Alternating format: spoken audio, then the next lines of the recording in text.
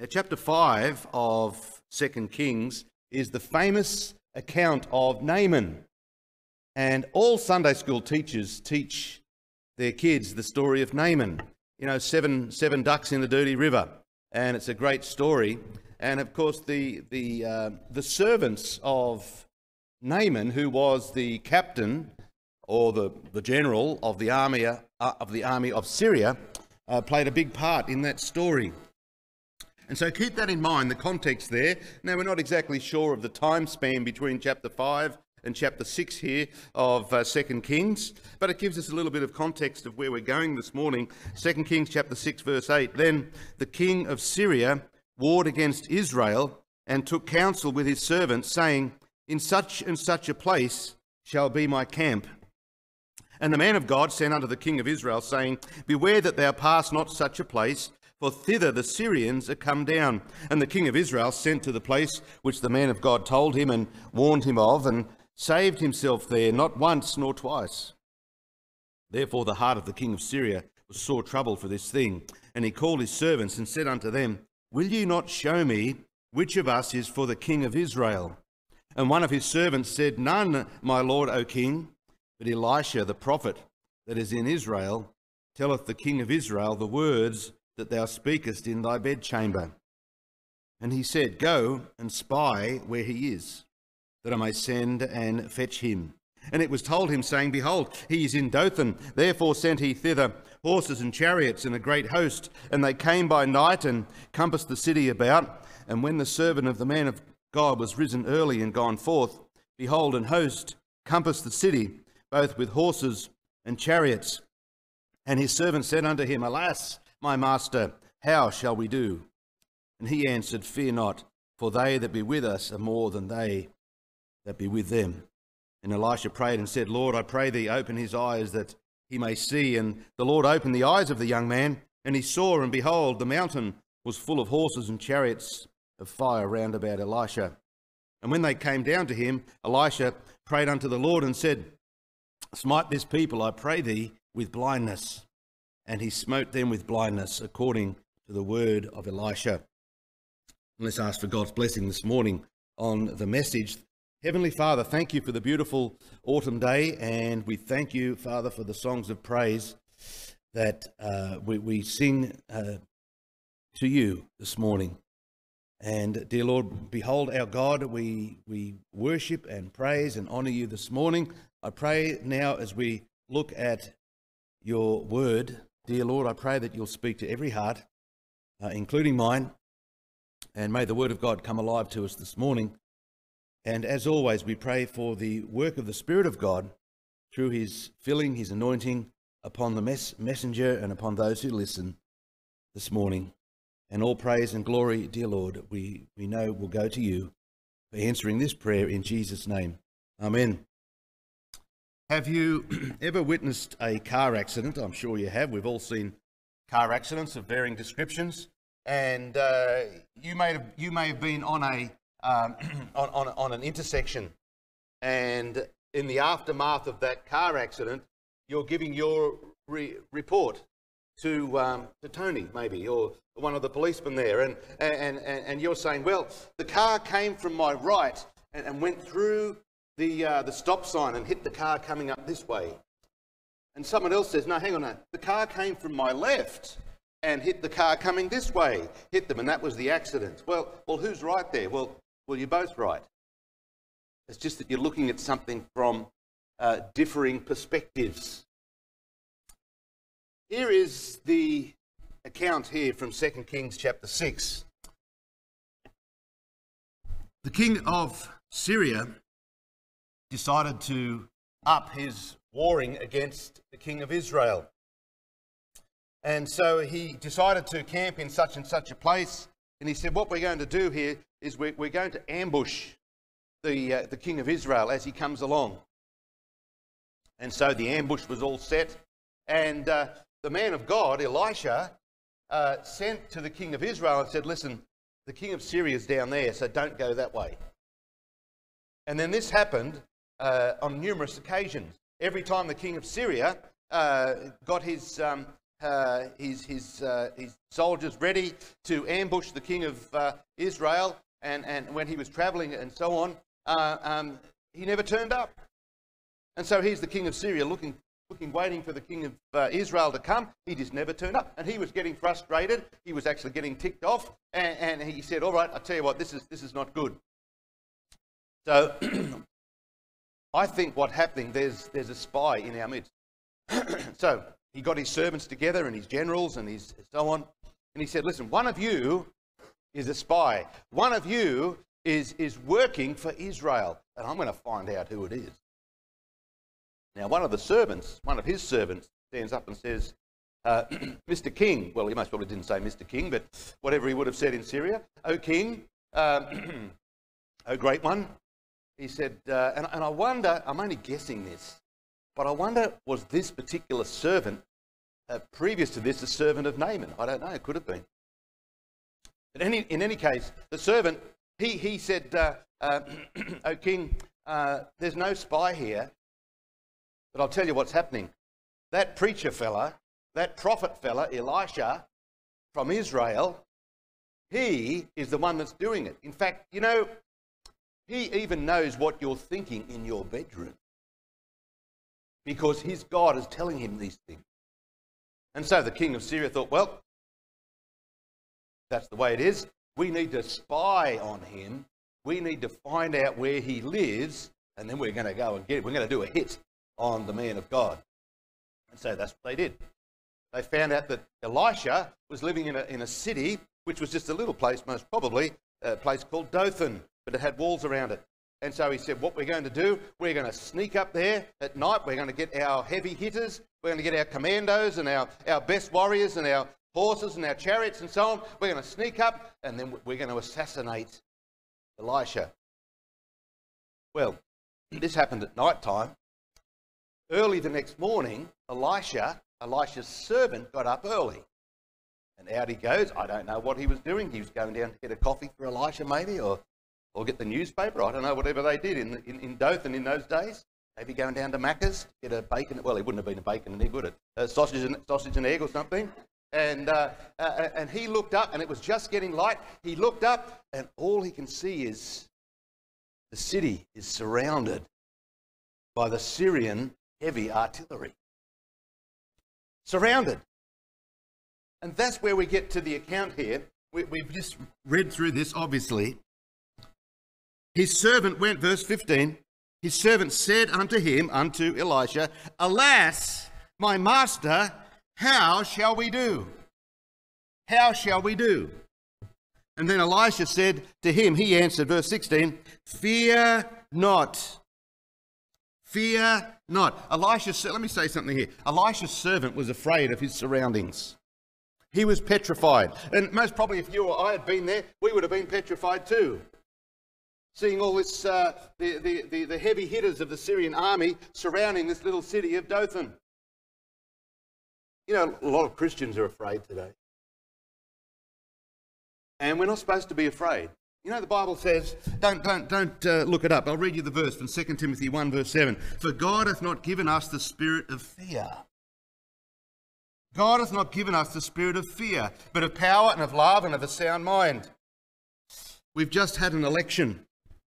And as much as we try and avoid advertising, you, you can't help but get bombarded by advertising from all sides of politics. And the advertising in any election is based on one thing it's based on fear. It's based on fear. It's not based on, this is what I can do for you. No, this is what's going to happen if you don't vote for me. It's fear. Whether it's fear of change or fear of of uh, uh, the climate or, or, or fear of taxes or fear of whatever. You know, as Christians, we're not supposed to live in fear. That's not, that's not how it works. We're not, not to live in fear. Time and time and time again, the Lord Jesus Christ said to his disciples, What did he say? Fear not. Fear not. Fear not. Fear not. Fear not. It's easy for us to be fearful. Well, Elisha asked God and said, Lord, could you open the eyes of this young man In fact, verse, verse 16 again, they that be with us are more than they that be with them. And I can just imagine this young fellow thinking, what? There's two of us and there's a whole battalion of them. How are we more than them? And Elisha prayed and said, Lord, open his eyes. Open his eyes. And that's exactly what happened. The young man, the Lord opened the eyes of the young man, verse 17, and he saw, and behold, the mountain was full of horses and chariots of fire round about Elisha.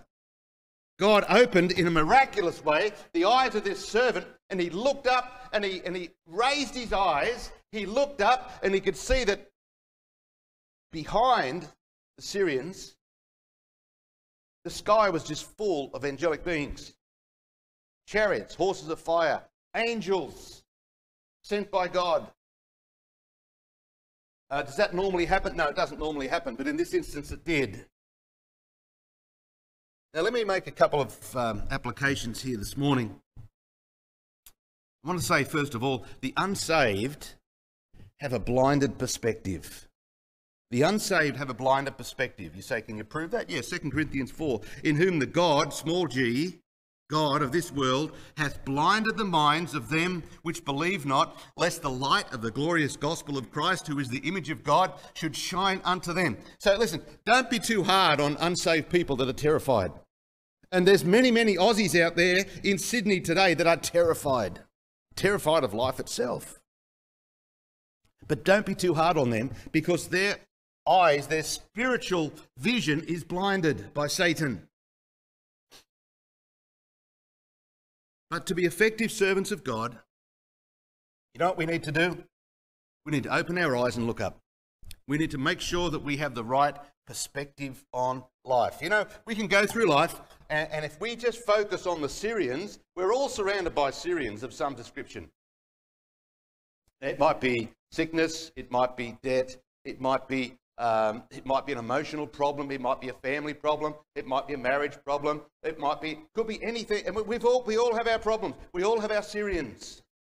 And if all we can see in life is, is our Syrians, yeah, we will be fearful. We will be fearful. But you know, for the child of God, you know what we're supposed to do? We're supposed to open our eyes and look up. We're to make sure that we have the right perspective on life. And I think it does us well to be reminded of this.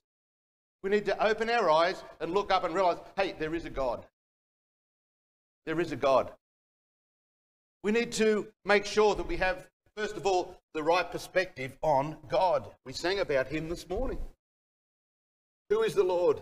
If you've got your Bible there, Psalm 8, verse 1, keep a bookmark there in 2 Kings chapter 6, Psalm 8 and verse 1. We need to make sure that we have a right perspective on God. This is what the psalmist said, Psalm 8 1. O Lord, our Lord, how excellent is thy name in all the earth. In all the earth. God's name is excellent in the earth. I think this illustration fits. I'll tell, I'll tell you the story anyway. But in Coffs Harbour, we have a mortgage on Australia's noisiest bird. We do. And now I'm an, I'm an early riser. I'm normally waking up about half, half four, five. But there's always um, kookaburras outside my window. I don't know what they're doing. They just come, uh, they're most probably down on the street, on the power line, but they seem to, I don't know, they aim at my window. And they're, la- they're most probably laughing at me. Yeah, I understand.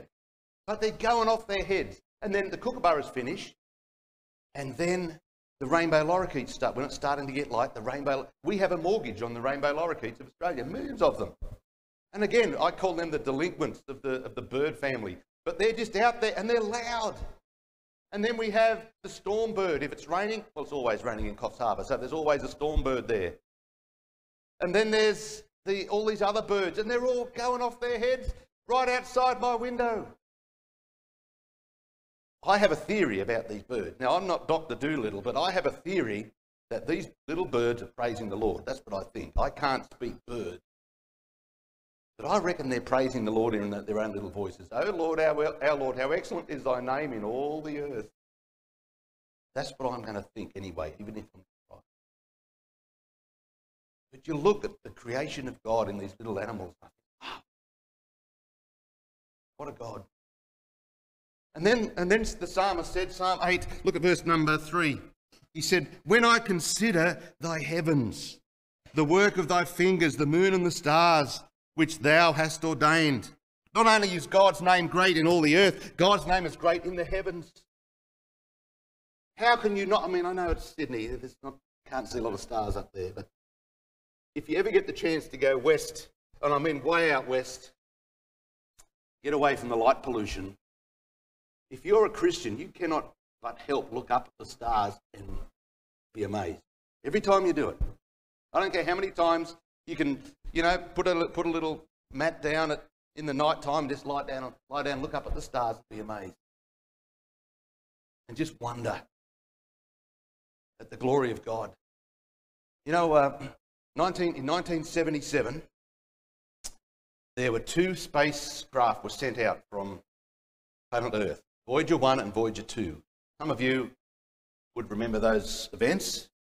You know those little spacecraft, they're still going today. What's that? Almost 45 years later. they've actually gone past Pluto and they're out into space doing their thing, sending back data and so on. 45. They weren't supposed to last this long, but they're still going. And actually, you can, there's a, there's a website. It's really interesting to go to this website. It gives you actual real time information on, on the Voyager uh, vessels. There's two of them, these spacecraft, and it tells you how fast they're going and how far away they are. From, from memory, the last time I looked, they're, they, are they are doing about 60,000 kilometres an hour. But I did a little bit of research on these, these Voyager spacecraft. You know, the, the next, uh, the next star to us here, our little cluster of heavenly bodies here, is called Proxima Centauri, and it's 4.2 light years away. Now, there might be some um, uh, really fancy scientific type people here, and you can correct me later if I'm wrong. But I think I'm sort of, I'm sort of roughly correct here. These, uh, the next star is 4.2 light years away, and light travels 186,000 miles per second or 300,000 kilometres per second. And so light travels 9.7 trillion kilometres a year. That's a long way. Now, at the present speed of Voyager 1 and Voyager 2, have a guess how long it will take to reach Proxima Centauri. It'll take 77,000. And that's just the next star to us. That's, the, that's our nearest neighbour, 77,000 years. And if that uh, uh, little, those little, the little uh, Voyager 1 and Voyager 2, if they were to keep going and to cross the entire Milky Way galaxy, at the current speed would take 1.7 billion years. And that's just our galaxy. And they estimate there are hundreds of billions of galaxies. So you look up there at the stars and you think, Oh Lord, our Lord, how excellent is thy name in all the earth, who has set thy glory above the heavens. Sometimes, you know, you, you, can focus on the Syrians, you can focus on the problems, you can focus on your enemies, but sometimes you just need to look up and think, there's a God. There's a creator God. And He is so much bigger than us, He's so much higher than us. Yes, we can't understand all the ways of God. We're not supposed to. He is God. And the psalmist went on to say there, verse number four, this is the crowning achievement of God's creation. He says, What is man that thou art mindful of him. You think the stars, you think the universe is great. Just think about man, you and me. God's crowning, God's crowning glory of his creation is man. When I say man, I mean men and women. I have a, uh, an acquaintance in Adelaide. His name is Dr. Anthony Pohl, P O H L. And I haven't seen Anthony for 10 or 12 years now. But um, the last time I saw him was uh, I was in Adelaide preaching, and he was at that time at the church I was preaching at, and I had my son David with me, and David and I went to his house uh, for dinner one night that week, and we talked about um, a lot of things. But he shared me a story. Now, Dr. Pohl is an orthopedic surgeon, and I don't know whether he's still practicing, I'm not sure but he's a world renowned orthopedic surgeon. And he was the professor of anatomy at Adelaide University and very well respected in his field. He said, You know what we've done? And by the way, Bible believing creation. He said, We have um, uh, we've isolated a protein. And he says, We get this protein and we inject it into the wound site, you know, for uh, knee replacements and hip replacements and so on, and it speeds up the healing process. He said, This protein is made up of 43 amino acids. Now, I don't know what an amino acid is. It's a little thing. But whatever these little amino acids are, again, if there's any chemist type people out there, you can fill me in later what an amino acid is. But there's 43 of these little fellas, and they're all in the line, and they, they form a protein, a very simple, basic protein. But those 43 amino acids have to be in the exact order for this protein to be this protein. Dr. Pohl asked a mathematician friend of his to quote the probability that those 43 amino acids could form by random, by, by chance. This is a very simple little protein. So his work on his computer. He said the chances of that happening are 1 in 10 to the 80th power. That's 10 with 80 zeros. In other words, it's impossible that, that this little, tiny little 43 amino acid string protein could form by chance. Impossible. Cannot happen. You know how complicated the DNA of man is? Now, I do know that DNA stands for deoxyribonucleic acid. I don't know what it is. I just memorized that big word many years ago to sort of try and, try and sound edu- educated. Do you know how complicated the DNA of man is? It is astonishingly complicated. And if any parts of those DNA are, are, are, are not in the right order, like the hair DNA, mine's, mine's lost. I don't know what happened to it. And there's a lot of fellas here, we got the same DNA, but I don't know what happened. the hair DNA, it just, you know. I have the dad joke, the dad joke DNA. That, that replaced the hair DNA. Because I think my dad jokes are really good. But anyway. But you know the possibility, uh, the probability of the DNA of man just happening by chance, it's, it's, it's ridiculous. That's why evolution is the greatest fairy story ever told. It is ridiculous. But we look at man, we look at the creation of God and we just wonder, what is man that thou art mindful of him? We need to get the right perspective on God. You know, we, we, we can keep our view down keep our eyes down, and all we can see is our problems. And we all get like this sometimes. That's my problem, that's my problem, that's my problem. We're fenced in by the Syrians. I'm here to tell you this morning if you are a believer, if you are part of the family of God, if you've been born again by, by faith in Jesus Christ, based on what he did on the cross, his shed blood, his resurrection. If you are a child of God, but as many as received him, to them gave he power or authority or right to become the children of God, even to them that believe on his name. Hey, we have a, we have a heavenly Father that is incredible. And just sometimes, in fact, not just sometimes, but all the times, we, we need to get our eyes off the Syrians and lift up our eyes and say, There's a God there. There's a God there. We need to get the right perspective on God. We need to make sure we have the right perspective on life after death. The Bible says in 1 Thessalonians chapter 4 that we sorrow not as others who have no hope. That's not Christians. That's not God's children. We do not sorrow. Yes, we sorrow when someone passes on. Uh, yes, we, we, it, it, we, we are humans. We grieve. But we don't sorrow as those that have no hope. I might have shared this story with you before, but it was October last year. A very dear friend of mine from Coffs Harbour passed away. His name was Gordon Forrester. And Gordon was 89. And he, when it came to health problems, he had more health problems than you could poke a stick at, they say. He was had it. And you know, for year after year, I would, I would, I would go and visit Gordon. Mentally, sharp as a tack, but physically, he just, his body was had it. And I'd go and we'd, I'd have fellowship with Gordon and we'd bring up some prayer, prayer requests and, and, and, and Gordon would he'd sit there in his rocking chair, weeping, saying, Praise me, say, Why doesn't God take me to heaven? I don't want to be here anymore. A couple of years ago, he was in the doctor's surgery in Coffs Harbour for a checkup with his GP, and he had this massive heart attack out in the waiting room. So, you know, the doctor comes running out and pumps the chest, you know, and, the, and the, finally they bring him back. He comes to, looks up, sees his GP, and this is what he said. He said, Don't you ever do that again. Serious. He was so disappointed. He said, I just want to go to heaven to be with the Lord. I don't want to be here anymore. You say, How can someone think like that? We, don't, we sorrow not as others have no hope. You see, we have a different perspective on life after death. You say, Is death a great thing? Death's a terrible thing.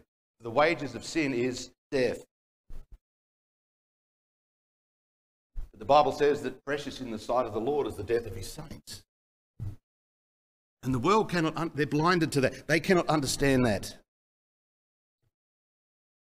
We need to get the right perspective on so many things. I've got things written down. We don't have time to go through them on money and family and marriage and so on. We need, we need, we need to have the right perspective on the return of Christ in the last days. Paul said to Timothy, you know, this know also that in the last days perilous times shall come. Men shall be lovers of their own selves, disobedient, ungodly, unthankful, and, and, and on the list goes. 2 Timothy chapter 3, read it sometime. So we are not surprised at what is happening in the world today. Say, wow, isn't that isn't it terrible what's that? No, no, we, we, the Bible tells us this is going to happen. We're not surprised at all. Because we have the right perspective on the return of Christ. We know that one day the trumpet's going to sound. At the last trump, the trumpet shall sound. The dead shall be raised incorruptible, and we shall be changed. That's the next event in God's prophetic timetable, this thing called the rapture. Yeah, I know the word rapture's not in the Bible. That word is not in the Bible, understand it. But the event is going to take place. Just read your Bible. 1 Thessalonians chapter 4, 1 Corinthians chapter 15. Be ready. We understand what's happening in the world. We understand all that. We expect that to happen.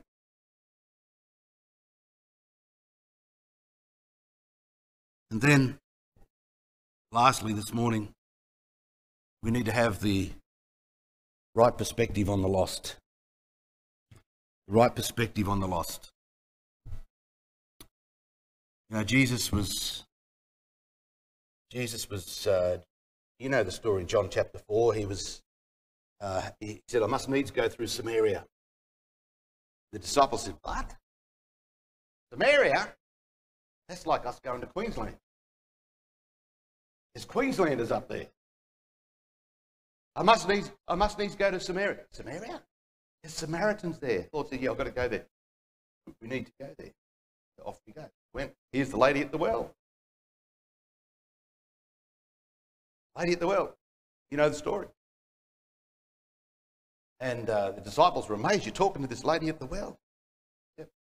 I told her about the water that I give. Incredible water that if you drink the water that I give, you'll never thirst. Said to the lady, go and, go and call your husband. Oh, I haven't got a husband. Thou hast well said, because you've had five husbands. And the fellow you're with now, that's not your husband. He went back to people, and the Samaritan family and friends said, Come see a man that told me everything about me. Many believed on Christ because of her word. And then many came, and remember, Jesus was there for a couple of days. And many believed because they went and heard him themselves. But what did Jesus say later in that chapter to his disciples? He said, Don't say there's four months till the harvest. He said, Lift up your eyes. Look out here. Look out where? On all the Samaritans. Just tell us that's your harvest. That's your harvest. The harvest is ready. Samaritans, yeah, they need the Lord. They need the Lord. So, what am I supposed to do in these last days? Everything's, everything's going bad. The world's just, just gone crazy. Yeah, it has. But the Lord's coming back. And we need to lift up our eyes to the harvest. You know what we need? We need some we need some gospel visionaries. I was going through my prayer list just this morning. I redo my prayer list every three months. So I have, you know, summer, autumn, winter, spring. And there's hundreds and hundreds of names on my prayer list. I, I was going through my prayer list and I, I have all different categories, of people that I pray for. And of course, the cat, there's a category of the pastors, Australian pastors, New Zealand pastors, and then missionaries and so on. I went through my prayer list this morning and I rubbed out, when it comes to missionaries and pastors, I rubbed out 15 names this morning. Pastors and missionaries that are no longer in the field compared to just a short while ago. 15 names gone. 15. Uh, you know what we need? We need some Australian Christians, born again, Bible believing Christians, called of God, equipped, ready, trained to lift up their eyes. Say, yep, I, I can see the harvest there. The Lord's coming back any moment. The trumpet's going to sound. But there's a harvest out there. There's a harvest out there. I, am going to spend whatever time we have left here, I'm going to spend my time in reaching the lost. Now, it may not be on the mission field, it may just be working for whoever you work for. Maybe just doing what you do, but lifting your eyes up and seeing, yeah, that's the harvest.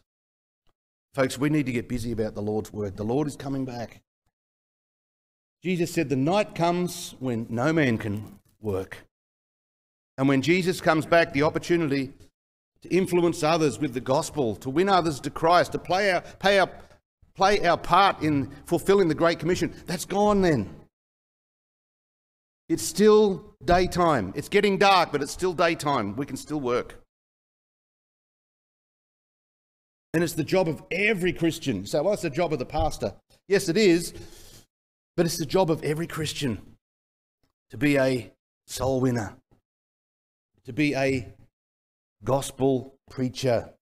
Not from up here behind the pulpit, but from wherever you are, a broadcaster of the seed of the gospel. That's our job. I'm just asking someone today just to lift up your eyes and just see that the harvest is ready. It's ready to be picked. Maybe, maybe somewhere around here there's a gospel visionary Maybe there's a gospel visionary. If I turn this thing off, is this still working? I think it's still working. Maybe there's someone who's going to lift up their eyes and say, Yeah, I, want, I to replace one of those missionaries. I want to replace one of those pastors who's no longer in the ministry and actually do something about it. Maybe God's going to speak to someone. Maybe God is speaking to someone. And maybe you've come this morning and you just needed to have your perspective adjusted a bit. We need to get our eyes off the Syrians. Yep, all, we're always going to be surrounded by Syrians. That's life. That's life. We're always surrounded by enemies. We're surrounded by obstacles. We're surrounded by trials and tribulations. That, that's, that's life being a human being on planet Earth. I'm just saying this morning, just lift up your eyes, look up. There is a God in heaven a wonderful God. He's an incredible God. He has a plan for each one. And if you are not a Christian this morning, you do not know the Lord Jesus Christ as your Savior, if there never was a time, there never was a time when you asked Christ into your life by faith, you know, it may be this morning that God, through the work of His Spirit, is taking away that blindness from your eyes. Maybe you see your need today. I just ask you to come and be saved today. Let's have all heads bowed and eyes closed, please. I'm going to pray, and I'm going to ask him to come and close off the meeting. But while heads are bowed and eyes are closed, is there someone here this morning, and you would say in your heart of hearts, Preacher, I didn't understand most of the sermon today, but I do understand that I'm a sinner and that I'm not saved. That I'm not a born again, Bible believing Christian. I don't know that there was a time when I received Christ into my heart by faith that I would like to become a Christian today. Hey, I'd like to give you the opportunity to respond to the message. And this is how I'd like you to do it. Right where you are, heads about, eyes are closed, would you just put your hand up in the air so I can pray for you? Is there one person you'd say, Preacher, I don't know that I'm a Christian. I'm not sure. But I would like to know more about becoming a Bible believing, born again Christian. Just put your hand up in the air, put it down again. I'm not going to call your name out. I most probably don't even know. Say, that's, I don't know. I, I'm not sure. Put that hand up. And I'll, I'll include you in my closing prayer. Thank you, Father, for the word of God. I pray, dear Lord, that this morning you will have encouraged some Christian, maybe a Christian who is really fearful. Father, we, we're not supposed to live in fear. We all get fearful at times, but Lord, we're not supposed to. We know that. That's, you've said that in your. I pray that you'd encourage that believer to lift their eyes up, focus on you. Bless the closing song this morning. We pray in Jesus'